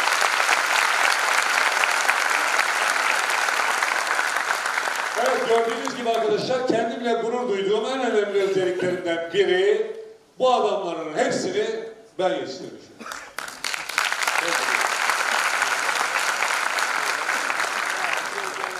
Bu Denizli arkadaş bu Denizli olanlar bilsinler bu. Burada ortadaki Gürkan Topçu. Burada sadece basının yazdığı 3-5 arkadaşımız var. Onların hepsi benim çocuklarım. Dışarıdan insanlar nasıl bakıyorlar, nasıl düşünüyorlar bilmiyorum ama onların hepsi benim çocuklarım. Bundan emin olabilirsiniz. Onlarla da karşılaşır, konuşursanız onlar da size o bizim babamız derler. O kadar severler bizi yani. Çünkü ben için çok emek verdim. Çok mücadele ettim o çocuklar için. Ya düşünün birinin dört kişinin birden, yetmek babasını birden, diğerini bilmem ne. işinizi işte böyle yaptığınızda sonuç olarak bu meyveleri de alırsınız. Hangi insan, e, ne kadar insan bu gururu yaşayabilir? Onlarca değil, yüzlerce çocuk yetiştirmek. Bence bir ülke için yapılabilecek en iyi şey, en iyi yatırım, insana yapılan yatırımdır. İnsana yapılan yatırımdır. Dolayısıyla ben kendi çapımda Ben kendi çapımda yüzlerce çocuk yetiştirerek ülkeme katma değer yaratmış olmaktan dolayı çok gururluyum, çok onurluyum. Bundan dolayı hiçbir şey beni bu kadar mutlu edemezdi. Onun için çok mutluyum.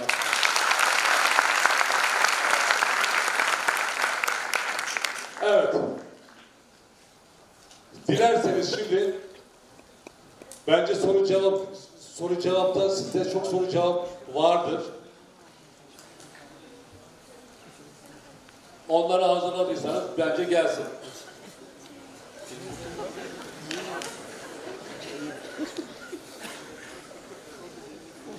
Şu anda Dubai'de, Riyad'da, eee Miami'de, Dubai'de eee, dükkanlarımız var arkadaşlar.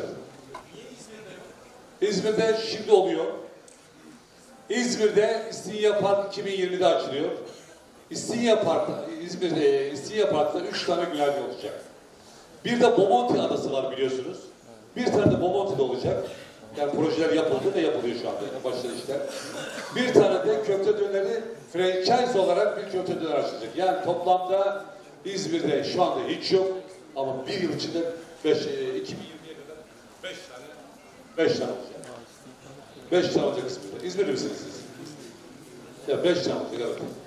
Bir gideceğiz, bir gideceğiz evet. Evet.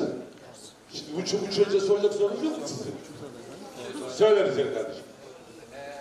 Ben şans yatırıp ya, yaratıp sizden staj almak istiyorum. Böyle bir şey mümkün mü? Şans.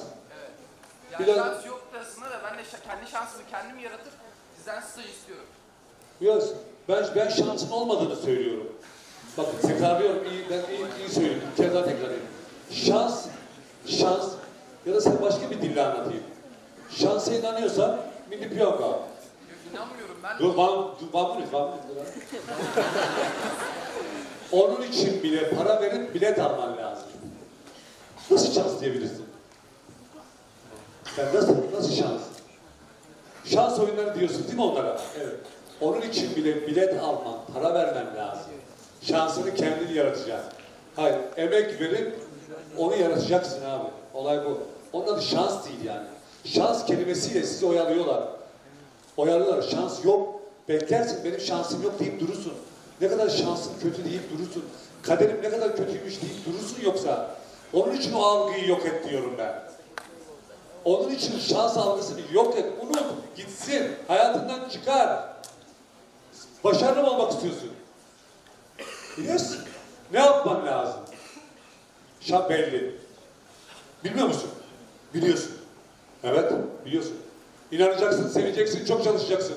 Karar vereceksin, kararlı olacaksın, risk alacaksın. Hepsini gösterdik ya. İşte onları yapacaksın abi. Şans yok abi. Şans yok. Kesinlikle şans ve tesadüf yoktur. Tesadüf dediğiniz şeye de şöyle tesadüf diyorsunuz. Aa ne, ne yetti de geldi tesadüfe bak karşılaştık. Arkadaşlar onun bir altyapısı var. Yani onu önce tanımış olman lazım. Oraya gitmen lazım. Onun oraya gelmesi lazım. Ama en önemlisi o insanla tanışıyor olman lazım. Onun bir alt, altyapı lazım yani. Önce bir tanışıyor olman lazım ki orada gördüğünde aa tesadüfe bak diyebilesin. O altyapıyı oluşturmadan o tesadüf dediğin şey olabilir mi? Olamaz. Şansla tesadüf yoktur abi. Sebepler vardır. Alır götürürsün ya da götüremezsin. Ya sınıfa geçersin ya da sınıfta kalırsın. Sınıfta kalmak isteyen var mı? Bence yok. Onun için yapılması gereken bellidir. Şartlar zordur, sorunludur, problemlidir. Bilin ki daha güçlü olmanız için sebeptir. Böyle inanırsanız işiniz kolaylaşır. Her zaman bir yol var abi. Her zaman bir yol var. Ve o yolu siz bulabilirsiniz. Size baktığımda sizin onu bulabileceğinizi görüyorum. Yeter ki, yeterince inanın. Evet.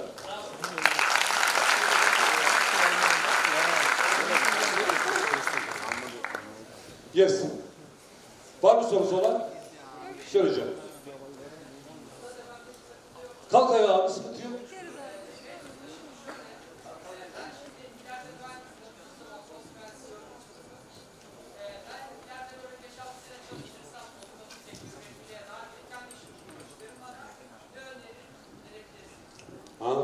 Söyleyeceğim. otomotiv, abiye sorsaydın ya. Sen bana eti, sen bana eti, otomotivci, otomotivci kat abi. Hazır burada. Sıkıntı yok. Bak abi. Ben zaten söylediğim inan, inanıyorsan, seviyorsan o işi. O işi seviyor musun? İnanıyorsun, seviyorsun. Çalışıyorsun ve kendini geliştiriyorsun. Yani olay bu. Bunları yapacaksın. Ama özellikle otomotivle ilgili bir şey istiyorsan otomotivci abi burada. Ona soracağım. Soracağım. Yani benim benim benim konumla ilgili bana soracaksın ben cevap vereceğim sana. Ben bir kere daha sana şunu söyleyeyim canım. Sevdiği yaptığı işi seviyor musun? Evet, seviyorum. İnanıyor musun? Seviyor musun? Evet. Çok çalışacaksın. Kesinlikle başaracaksın. Kesinlikle. Sağ olun. Ha yok olmaması mümkün değil. Hayır doğasına uygun iş. İşin doğasına uygun yani.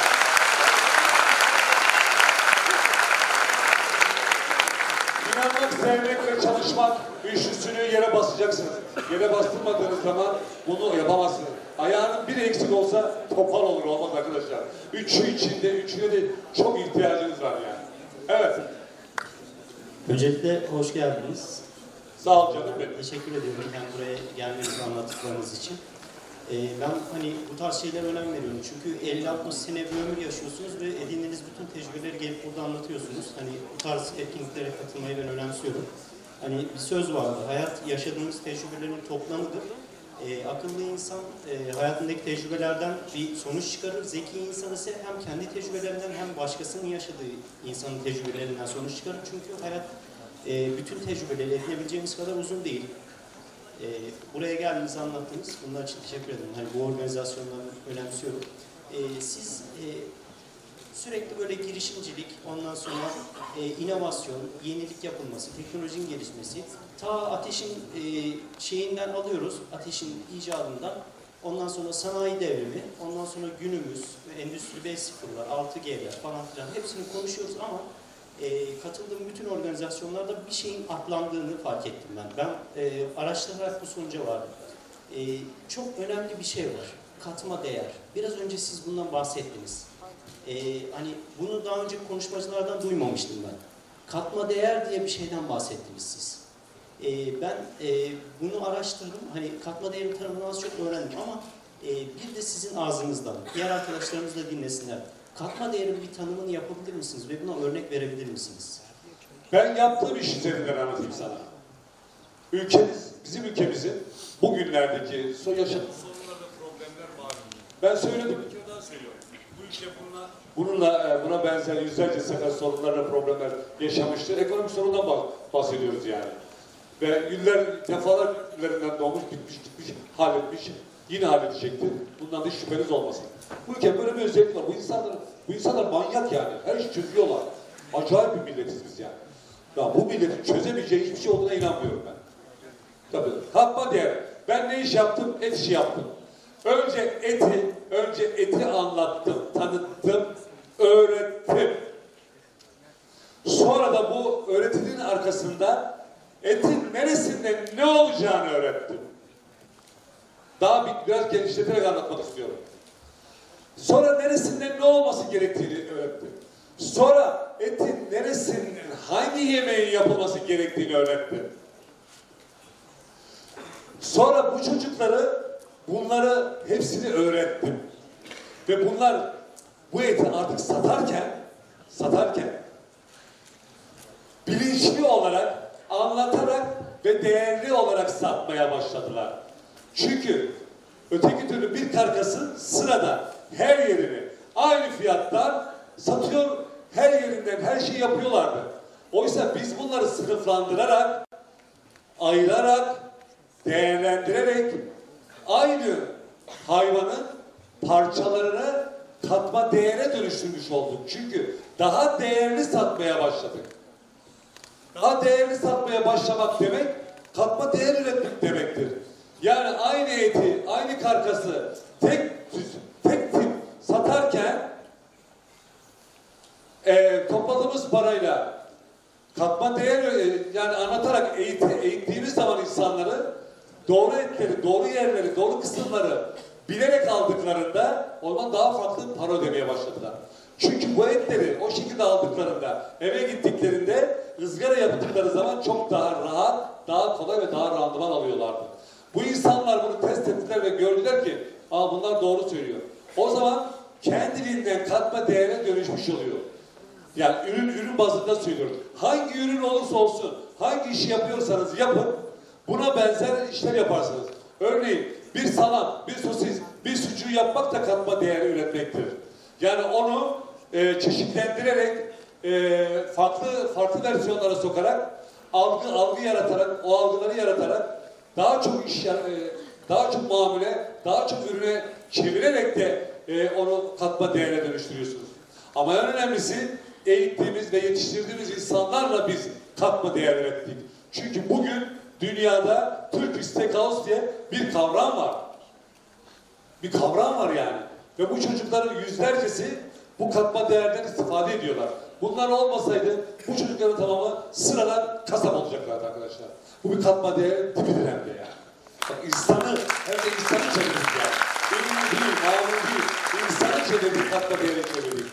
İnsanı katma değeri çevirdiğinizde o insanlar açtıkları her dükkanda onlarca insana iş ve ekmek verecekleri için onlar da katma değer üretmeye devam edecekler. Biz bu anlamda çok gerçekten çok iyi bir katma değer ürettiğimizi düşünüyoruz, yarattığımızı düşünüyoruz. Katma değer bu yani. Bundan ibaret. Benim işimle ilgili ben bunu yaptım. Otomobilci abi e, katma değer üretmek için daha farklı şeyler yaratarak, yaparak katma değer üretiyor. Yani daha çok e, üretmek, e, ülkemize daha çok girdiği sağlamak, ülkemizi e, işini kolaylaştırmak ekonomik olarak ve de marka olarak da kendimizi daha güçlü hale getirmek için mutlaka katma değer yaratmamız gerekir. Merhabalar öncelikle. Evet canım. Ben makine mühendisliği öğrencisiyim. Ee, CEO, e, otokol CEO'sunu soracaktım. Neredesin sen ya? Ha, yaşar bu ya. Makine mühendisliği öğrencisiyim. Şu anda daha yeni başladım ama kendi fırsatlarımı şimdiden yaratmak istiyorum mesela. İşte e, bir koç koça bir CV gönderdiğimde onlar neden biz seninle çalışmalıyız yerine ben neden koça çalışmalıyım diyebilecek kapasiteye sahip olduğunu düşünüyorum ama bu benim katma değerimi nasıl etkileyecek peki? Yani Sen, sen Siz bir gir. Sen oraya bir gir. gir. Önce bir gir oraya. Önce bak otomobilci abi burada. Yakala onu bırakma. Mesela bugün buraya gelmemiş olsaydın sen, yani gidip de ne yapacağım deseydin, Önder Bey'i göremeyecektin. Tanım, bence Önder Bey'e yapış. Hemen katma değer üretmeye başlarsın. Evet, katma değerin adımlarını atmaya başlarsın şimdi sen. Ama o söylediğin şekilde katma değer üretemezsin. Önce oraya bir gir abi. Girdikten sonra bak göreceksin o zaman üret, üretmeye başlayacaksın. Sen önce oraya gir abi şimdi.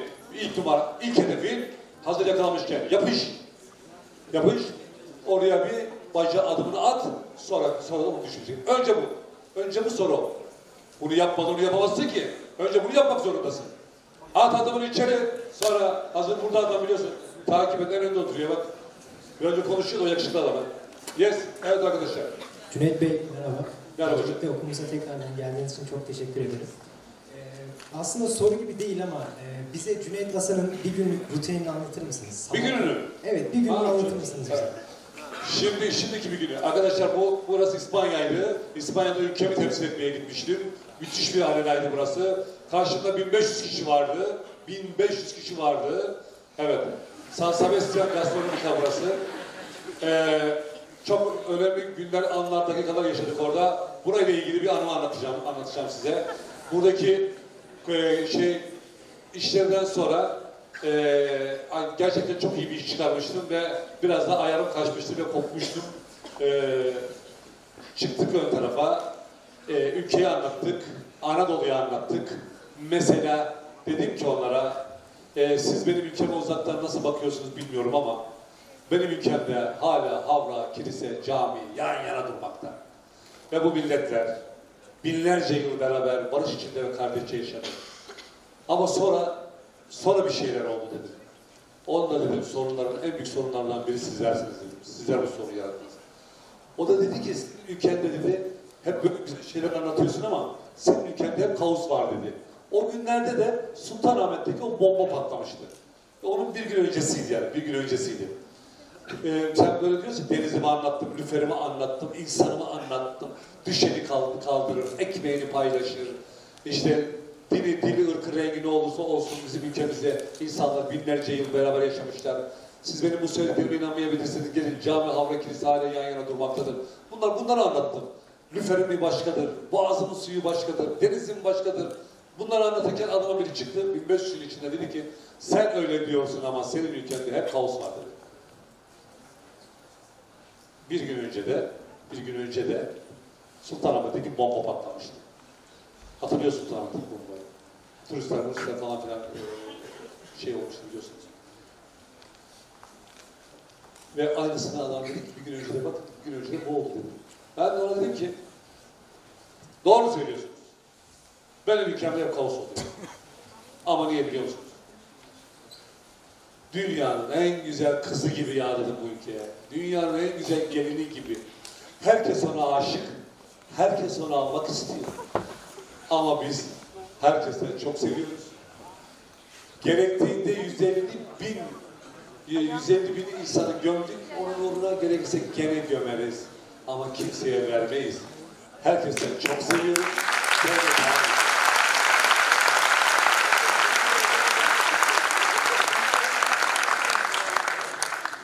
Ülke sevdası, ülke aşkı bir başka aşktır. Aşkların en büyüğüdür.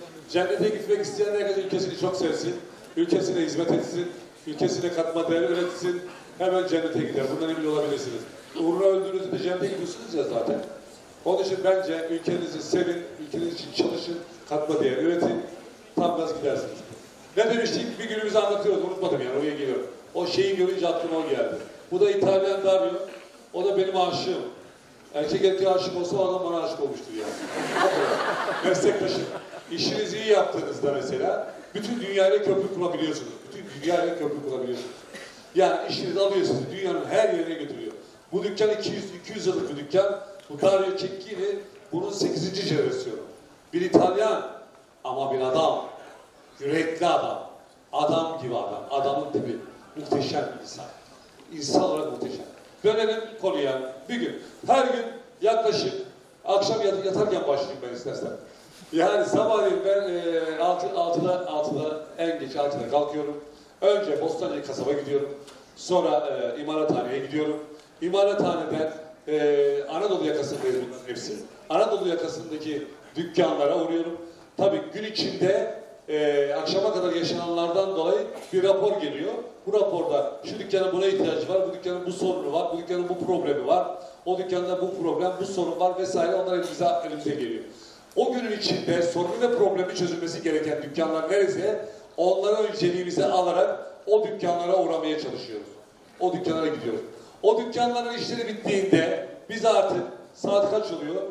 Ee, yani bayağı ilerliyor saat. 11-12 yani dükkanların kapanma saati, saatine denk geliyor. O saatten sonra biz e, mezbahaya gidiyoruz. Mezba geceleri oluyor çünkü. Mezbalar geceler olur.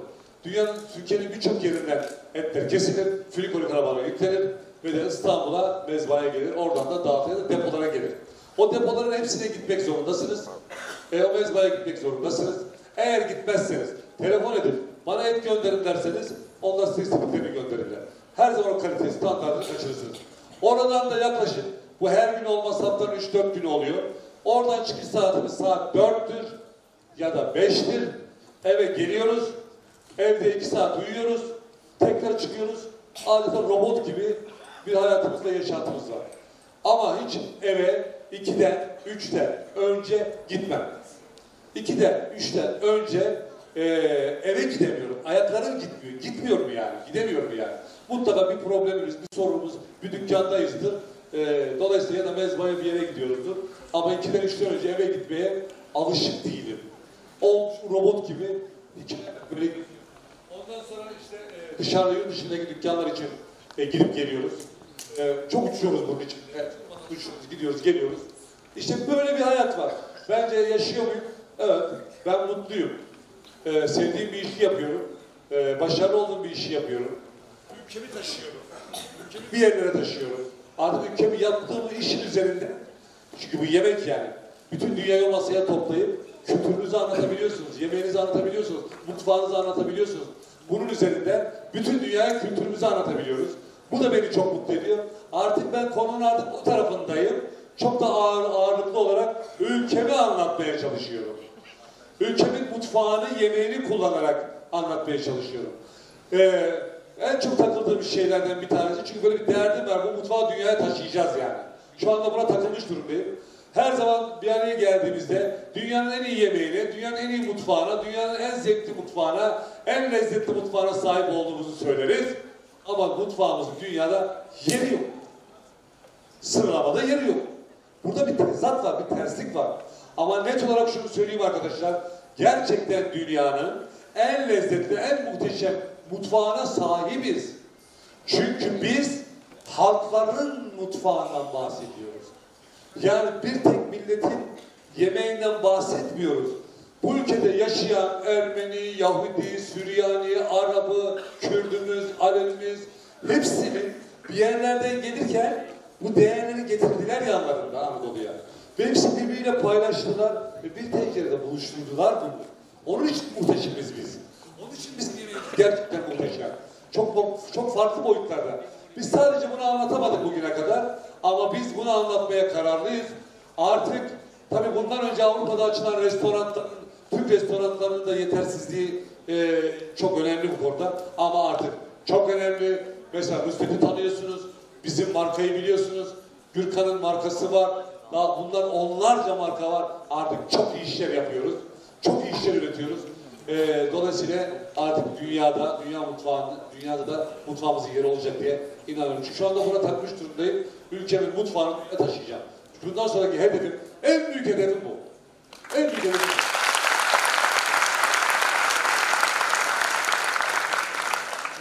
Evet. Elkom yok mu kimse? Yes.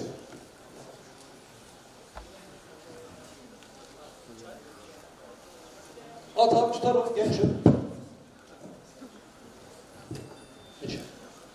Cüneyt Bey öncelikle merhaba. Merhaba hocam. Yani şimdi bu anlattıklarınızdan yola çıkarak da birçok insan yetiştirmişsiniz, vasıflı, kaliteli insanlar. Ee, Bu yetiştirdiğinizin insanların e, bir tanesi şu an yanımda İbrahim Bey. E, Deniz de kendi markasını oluşturdu. Ne düşünüyorsunuz? Oo İbo ne haber? Sen. Hoş geldin, hoş geldin. Ha? Ha, evet, evet. Onunla da ne kadar günlerimiz var. Ver, bir ona ver. Bir seni bir görsünler bakalım. Evet. Şimdi kendilerine merak ediyorum. Bizdeki enerji her daha yeni tanışıyormuşuz görüyorsunuz değil mi? Aa İbo o, işte bu, bu enerji. Heyecanlıyım ki anlatamam. Enerji, enerji. Enerjiniz hep olmalı. Enerjiniz hep olmalı. Hep, hep, hep bir şekilde o enerjiyi korumalısınız. Ben 60 yaşındayım ha beyler ona göre. Ona göre değerlendirin. Anlat bakalım. Ne yaptık biz? Bir kere her şeyden önce e, Enerji. Enerji kesinlikle enerji güne uyandığınızda ne için uyandığınızı bilmeniz lazım. E, benim için her şeyden önce güne onunla başlamak e, çok önemliydi. Çünkü e, Bostancı'daki e, ilk çıraklarından biriyim. Çok emeği var. Bir kere her şeyden önce bir işe saygı duymak ne demek ve o işi ne kadar çok istemek ne demek onları aşıladı bana. Bir gün ben de onun gibi olabilme heyecanıyla yaşadığım için şu anda bugün bu saat itibariyle ben de Denizli'deyim ve burada bir kendi mekanımı ve kendi markamı oluşturdum. Kendi mekanımı açtım. Kostele Burger House'un sahibiyim ben. Ama sahibi değil, tam tersi en büyük işçisiyim. E, çünkü sabahın köründe oraya kalkıp e, ekmek yapmaya gidiyorum. Ben kendi ekmeğimi kendim yapıyorum. Kasabım bu arada. Ama ekmek yapmayı nasıl öğrendiğimi söyleyeyim. Karşınızda gördüğünüz bu mükemmel adam beni iki kere işten kovdu. Ee, ve seni bir daha bu dükkanda görmeyeceğim dedi. Ben de eve söyleyemedim e, işten kovulduğumu.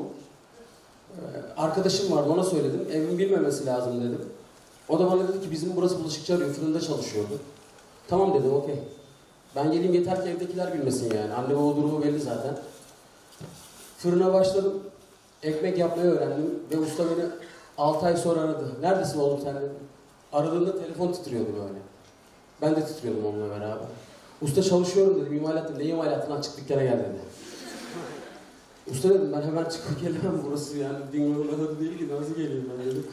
Oğlum yarın sabah tezgahtasın lan dedim. Tamam usta dedim. Sabahleyin tezgah, işi bıraktım kaçtım oradan. Onun yanına gittim Bostancı'da.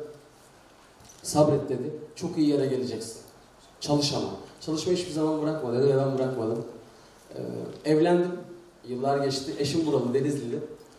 Ve şimdi bu buraya getirdiğim bir restoranı ve bir markayı oluşturdum burada ve inanılmaz derecede güzel gidiyor ve Denizli'de reklamı olmayan, hiçbir yerde reklamı olmayan tek marka haline getirdim onu. Onun gibi, ustam gibi herkese anlatarak, yaptığım işi dil dökerek, göstererek, ürünümü sahneye çıkararak onu şu anda insanlara sunuyorum ben. Ve her şeyden önce açtığım yerde samimiyet, dürüstlük ve doğru işler var. Temiz işler var. Bana kattığın her şey için çok teşekkür ederim. Allah senden razı olsun. İbo, bu İbo'ya bakın şimdi. Bir Türkiye'nin kasap modeline bakın. Ee, yeni baştan model, modellerini bile değiştirdik. Çocukların kendilerine özgüvenlerini geliştirdik. Özgüvenlerini. Kasabın, kasap gibi adam diyorlardı. Gazeteler kasapları çizerken kocaman popolu, kocaman enseli, kocaman göbekli, ailede bir satır verin, öyle çiziyorlar. Şimdi çizsinler. Şimdi kasap öyle çizsinler bakalım. Çizemezler. Artık kasapların modeli değişti. Kasaplık değişti. Evet. Bu bizim 50 yılımız aldı ama gördüğünüz gibi canlı model bu. Özellikle gösteriyorum. Bütün bu iş yapan kasap çocukları artık bakın. Hepsi adeta bir model halindeler. Bir modelleri var, bir duruşları var, bir ruhları var. Bunu yapmış, bunu başarmış olmak bile bir insana yetmez mi? Yeter. Ne mutlu bize. Bu çocuklarla daha çok işler yapacağız. Yani öyle her şey süt liman yürümüyor. Patırtılar, gürültüler, kavgalar neler oluyor? Ne patırtılar, gürültüler oluyor. Hem de ne kadar kızdığımız zamanlar oluyor. Ayaklarını tut, ayaklarından tutup kafalarını duvara vurmak istediğim zamanlar bile oluyor. Evet, o kadar kızdırdıkları, o kadar sinirlendikleri zamanlar oluyor.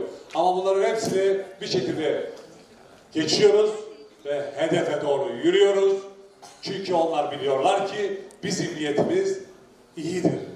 İyi niyet ve samimiyet esastır. Bizim derdimiz kavga etmek değil esas olan eee, bir şeyler yapabilmek, onlara kalıcı bir şeyler yükleyebilmek.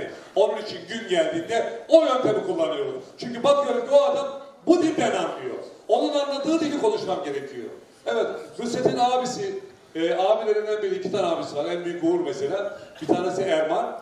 Erman'ı bir gün o kadar dövdüm ki öldü diye bıraktım. Hemen bunu hastaneye götürün dedim. Hastaneye götürdüler geldiler. Hepsi pırlanta gibi çocuklardı. Ama bir türlü anlatamıyordum bu çocuğa ben bir şeyi. Bir şeyi, söylemek istemediğim bir şeyi anlatamıyordum. Söylemek istemiyorum, e, anlatamadım bu çocuğa bunu. Bir türlü anlatamadım. Anlatamadım. Sonuçta evet mi, hayır mı dedim. Doğru mu yalan, yani doğru mu yalan mı diye sordum. Yalan dedi. Oysa doğruydu ben görmüştüm. Sonra ben onu çok çok fazla dövdüm. Ee, zayıf da bir çocuk, küçük çocuktu zaten. Hastaneye kaldırdık, geri geldi. Bir hafta izin verdim, iyileşsin gelsin diye. Ama o gün o çocuk o dilden anlıyordu. İnsan dövmek güzel bir şeydir demiyorum ki arkadaşlar. İnsan dövülmez ki, insan sevilir. İnsan dövülür mü? Ama eee, bazı insanların kendine has özellikleri var. Dilleri var, bir dili var. O dili bulmalısınız. Ve o dili onunla konuşmalısınız ki anlayabilsin. Buzdolabını da kapattım. Evet. Çünkü onunla bir sorunum vardı. Benim o sorunu çözmem lazımdı. Ben bu doğru doğru bir yöntemdir demiyorum. Ama herkesin anladığı bir dil var. O çocuğu kazanmamız lazımdı. Ben kendimce eee, yöntemlerimi denedim. Başardım. Üç gün önce beni aradı. Adı Erman. Üç gün önce telefon etti. Usta seninle konuşmaya ihtiyacım var diyordu. Evet. Seninle konuşmaya ihtiyacım var diyordu. O kadar dövmüştüm o çocuk. Niye beni arasın konuşuyorsun? Mesele iyi niyet ve samimiyettir. İyi niyet ve samimiyet esas oldukça her şey yerine döner. Evet. Onlar bizim çocuklarımızdı yani. Hiçbir derdimiz yoktu. Onları bilmem ne olsun diye de dövmedik. Dövmek dediğimizde yani arada bir oluyor her zaman. Tabii adam dövülmez yani. Kurban olayım. Siz takılmayın adam mı dövülür diyeyim şimdi. Evet. Var mı sormak isteyen bir şey? Hayata dair, insana dair, neye dair olursa olsun, ülkeye dair, güzel ülkenin güzel insanları, güzel gençleri. Bu ülke sizi bekliyor, haberiniz olsun. Evet, bu ülkeyi biz istediğimiz noktada belki uçuramadık. 60 yaşında biz olduğumuz, olduğumuza göre biz uçuramadık belki ama sıra siz- sizde. Siz, sizde sıra sizde uçuracaksınız hadi. Yes, Can. Bu duygusal atmosferden çıkıp biraz iş konuşmak istiyorum. Yes, Can. Ee, şimdi her ürünün bir hayat eğrisi var. Sizin sizin de bir sektördesiniz. Sizce sizin sektörünüzün hayat eğrisi ne zaman eksiye düşecek? Yani her gün yeni bir marka çıkıyor, her gün rakipleriniz artıyor. Sizce sizin işiniz ne zaman normalleşecek? Ne zaman ölecek sizin sektörünüz? Ölecek. Mutlaka ölecek. Her sektör mutlaka ölecek. Ölmüyorsun, ölmesin diye elimizden geleni yapacağız. Kalktı mı? Yok. Ben niye diyorsun abi? Bir kere yeme içme sektöründeyim ben. Günde üç sefer ihtiyaç duyduğumuz bir işten bahsediyoruz. Yani işlerin hepsi ölecek ya biz ölmeyiz. Niye öyle?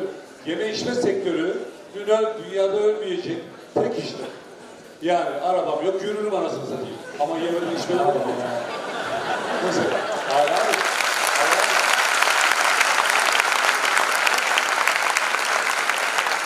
Üç sefer ihtiyaç duyduğun bir şey söyle bana. Bunun adı yemek. Benim demek istediğim şey şu, insanların yeme alışkanlıkları değişecek. Yes, Yani- biz, de, biz de gelişeceğiz de değişeceğiz. Bu güzel. Evet, ben de onu soruyorum. Evet. Siz yenileşmek için Tabii. ne yapacaksınız? Yani bir gün insanlar kebap yemeyecek, Tabii et tabii tabii. yemeyecek, farklı şeyler Bu güzel. Şimdi soruyu daha o zaman ben yanlış anladım. Kusura bakma. Ee, sürekli gelişmek ve değişmek zorundasınız arkadaşlar. Biz bugüne kadar bu yaptıklarımızı gösterirken ve anlatırken de hiç yerimizde durmuş muyuz? Durmadan gelişmişiz, değişmişiz. Bu, bu nereden bulduk? Biz sokakta mı bulduk? Nereden çıkardık bu çocukları? Nasıl bu modelleri yaratabildik? İşte sürekli gelişen ve değişen duygu ve düşüncemiz olduğu için bunları yapabildik. Yine yeniden gelişime ve değişime açık olarak bütün dünyayı takip ederek ve de kendi yeteneklerimizi ve kabiliyetlerimizi zorlayarak geleceğe kendimizi hazırlamak için elimizden geleni yapacağız. Hiç şüphen olmasın ki her gün, her gün ne yapabiliriz? Yeni ne yapabiliriz? En iyi ne yapabiliriz? En güzel nasıl yapabiliriz? En iyi nasıl yapabiliriz? Farklı nasıl bir şey yapabiliriz? Nasıl farklı olabiliriz çalışıyoruz. Bundan emin olabilirsin. Bu duygu ve bu düşünce, bu enerji bizde oldukça onun senin söylediğin o noktaya gelmeyeceğiz.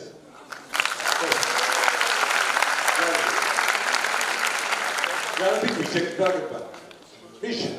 Yes, evet. Kızlar, burada mısınız? E hadi kızlar, size bir ses çıksın bakalım. Yes. Tamam, in diyorsa ineriz, sıkıntı yok. Ha kızlardan bir tane bir şey almam lazım.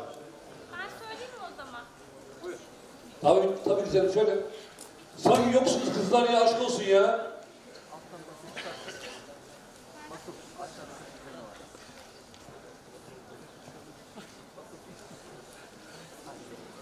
Bağır gelsin ya, ben duyuyorum, sıkıntı yok. Şöyle ben teşekkür edeceğim. Ben aferin, ha? coğrafya okuyorum. Üçüncü sınıftayım. Ee, benim sorunum şu, ben hiçbir zaman coğrafya ile ilgili hiçbir konuşmada hiçbir şey duymuyordum. Buraya geldim, arkadaşlarım burada diye geldim açıkçası. Gelme sebebim oydu. Sonra geldim, e, 10 dakika falan oldu, siz coğrafya ile ilgili konuşmaya başladınız. Siz konuştukça benim dinleme potansiyelim arttı. Ve e, ben coğrafya ile ilgili hiçbir şey duymuyordum. Ben çok mutlu oldum kendi adıma. Çok güzelsiniz. Arkadaşlar, evet.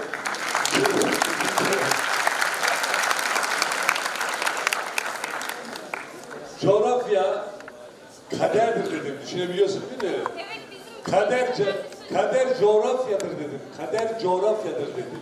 Ve bu ülke bizim kaderimiz dedim. Evet ben buna inanarak söylüyorum. Kader coğrafyadır. Yani doğduğunuz yerdir. E, bulunduğunuz yerdir. Ve bu topraklar da böyle acayip bir topraklar. Ve Allah bu, bu toprakları ancak bize emanet ederse kalabilir, tutabiliriz bu millete yani. Bu millet farklı, zor coğrafya çünkü. Zor topraklar çünkü. Onun için bu coğrafya, bu ülkenin, bu milleti vermiş. Ee, onun için bu millet uğraşıp duruyor. Yoksa başka da dağılıp giderler. Her tarafımız düşman dolu. Her tarafımız. Dört bir tarafımız. Yetmiyor bizi birbirimize düşürmeye çalışıyorlar. Bir de içimizden yapıyorlar yani. Onun için bunlara biz gelmeyeceğiz. Gelmemeliyiz. Artık gelmemeliyiz arkadaşlar. Yani bunda dersimizi çıkarmış olmamız lazım ya. Oradan fitne, buradan fitne, oradan bilmem ne, sağ sol, Kürt, Türk, Alevi, ya bunlara gelmeyin lütfen ne olursunuz yani. Çünkü bunların hepsi hikaye olduğunu gördünüz artık. Bunlar tezgah. Bunlar tezgah. Yok böyle bir sorunumuz bizim. Böyle bir sorunumuz, böyle bir derdimiz yok ama siz bunu artık siz halledeceksiniz. Bakın sizin kuşak ülkenin geleceğinin alt kuşağı buna inanıyorum. Bizden geçti. Siz bu ülkeyi nereye götürmek istiyorsanız oraya götürebilirsiniz. Ülkeyi nereye taşımak istiyorsanız oraya taşıyabilirsiniz. Altın sizsiniz. Şimdi sıra sizin O kuşak sizsiniz. Ben buna inanarak söylüyorum. Hadi gelin bunu yapın.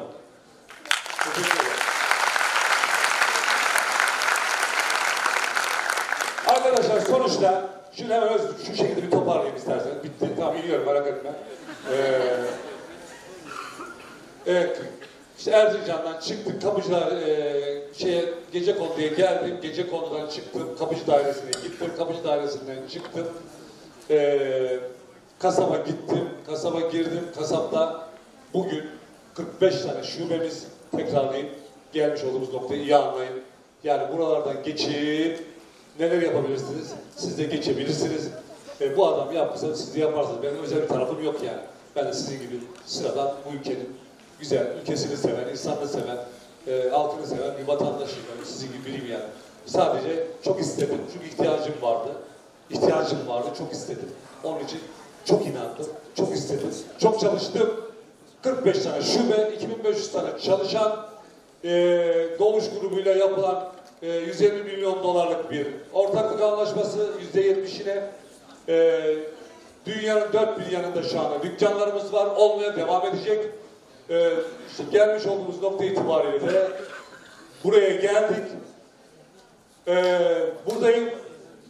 Size getirdi beni benim işim, benim bu işim size getirdi. Sizinle beraberim. Şu anda sizle beraberim. Ne mutlu bana. Ülkemin bu kadar güzel insanıyla, genciyle, delikanlısıyla, güzel kızıyla beraberiz. Bu iş beni buraya getirdi. Ne mutlu. Buradayız. Sizi seviyorum. Çağırdığınız için teşekkür ederim. Sağ olun. Var olun.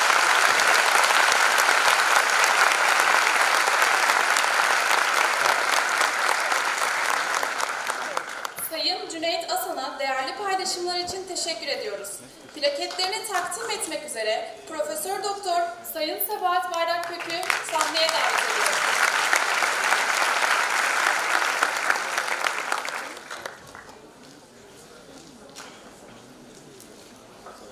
Merhaba Sebat Hanımcığım. Dur ya kız.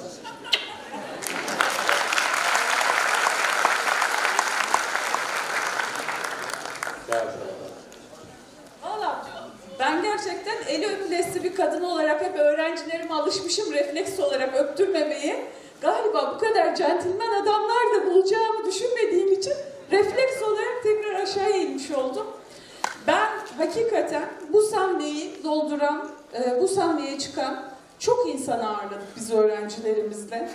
Ve hepsinin emeğine, çabasına, gerçekten bilgisine teşekkür ediyoruz. Ee, biraz önce ilk konuşmacımız hakikaten e, Önder Bey indiği zaman ben şahitleri var ki dedim ki e, ne kadar vermek için, ne kadar gerçekten öğrenciyi doldurmak için uğraştı ve muhteşem oldu yani. Çok çok teşekkür ediyorum öncelikle size atlamadan. E, o emeklerinize, o çabanıza, o yorgunluğun üstüne yorgunluğa e, biz gerçekten teşekkür ediyoruz. Size de asan değil de aşan kalbimiz ısındı etlerinizdeki ızgara gibi. Ben gerçekten gönlümün e, bir insan sevgisiyle, bir usta sevgisiyle, bir emek e, sahibiyle bugün dop dolu, kalbimin bütün çeperlerinin sarıldığını hissediyorum. Ve bu sahneyi siz bu öğrencilerimize teşekkür ettiniz. E, evet teşekkür ediyoruz. Ama galiba onlar da size teşekkür edecek. Hiç boş çıkmayacaklar. Yani e, çok doldular ve gerçekten bu emeği verdiğiniz için, bu gayretiniz için çok teşekkür ederim. Ben Erzurumluyum. E, 20. yılım Denizli'de. 8 çocuklu bir ailenin ilk okutulmuş çocuklarından bir tanesiyim. E, babasını 5 yaşında kaybetmiş. Annesiyle büyümüş bir kadınım. Öğrencilerim çok iyi bilir. Bir şeyi vurgularım hikayede çok e, barizdi. Geçmek istemediğim için. Eğer bir yerde sevgi temelse ve sevgi yeşertilmişse, eğer o sevginin kahramanı özellikle bir kadınsa, hiçbir kadın, hiçbir çocuk öksüz değildir, yetim değildir. Onun için bu kadınların, kadın olduğum için değil, dünyaya tekrar gelsem gerçekten bir lütuf olduğunu düşünüyorum. O sevgiyi bütün çeperlerince yaşatmış bütün annelere, bütün kadınlara ve bir ana olan Anadolu'nun bütün evlatlarına ben aydınlık bir yol diliyorum. Çok teşekkür ederim.